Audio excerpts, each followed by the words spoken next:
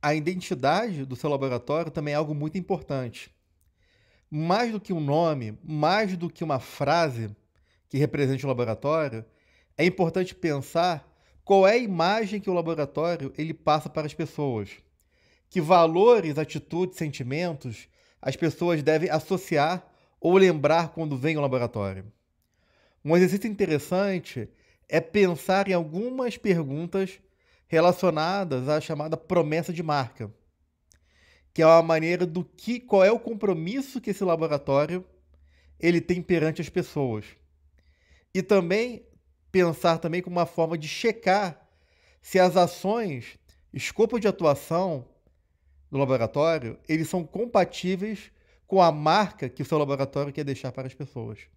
E a partir daí, também criar essa identidade e comunicá-la às pessoas.